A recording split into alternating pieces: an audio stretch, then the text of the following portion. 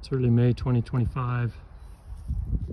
I'm at the greenhouse in Springville, Utah. Had some good rain out here last few days, which uh, we take all we can get. Thought I'd do a quick tour of the greenhouse.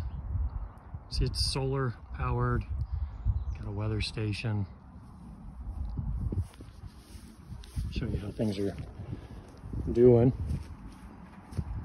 Some fruit trees on the north side of the greenhouse. Lots of berries and grapes. Everything's coming in nice. Full sun during the Utah growing season, so the north side is a great place to to grow things on the outside. Shade cloth still not on.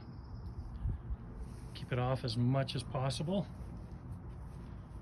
Get the vent wide open so we can get bees and other things inside. There's the main box for the solar. It's nice and green in here. Had a really nice winter, comfortable. Fig tree, figs do great. Just ordered some new trees from Top Tropicals. A couple mangoes, a loquat, another avocado. Kind of add in where we find that they're working. Got an orange variety here that's to the ceiling. No fruit on it yet this year. Some bananas. Grapefruit, brand new tree. Actually had a couple fruit on it last year. Avocado is finally doing really well. This is about, oh, maybe eight feet tall.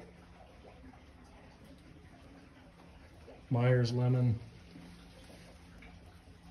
We have to work hard to get sunlight back here with this passion fruit vine that grows over the back.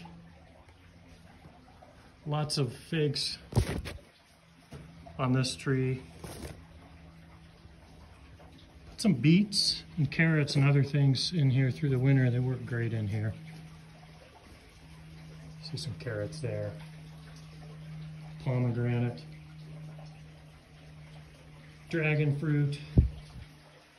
This is a uh, another citrus tree that's gone to the uh, to the ceiling, so we start really trimming it and pruning it accordingly. But lots of fruit on this one. So you can see a lime tree back there. I think that's a tangelo.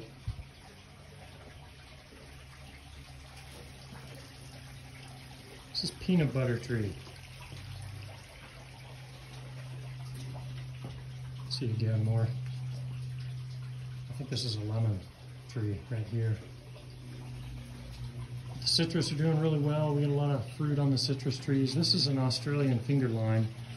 Just starting to finally see some fruit. These will usually fall off while this tree is still young, but it's getting up near the, the roof now guava. It's a banana tree with a rack on it. I don't have anything in the uh, aquaponics right now.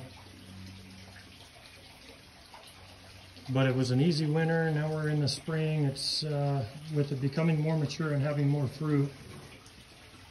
It just does better and better. Manages itself and the temperature better. The tomato, we get volunteer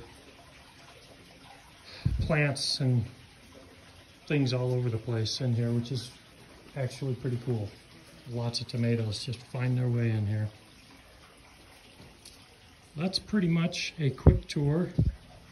It's early May. As we get going into the summer, we'll eventually put the shade cloth up and uh, get the big fans turned on so that uh, as it gets warmer in here. It can push the hot air out and bring in some cooler air. And then of course we have the geothermal tubes that go from one end to the other. All in all, it's been going well in here. That's just a quick tour.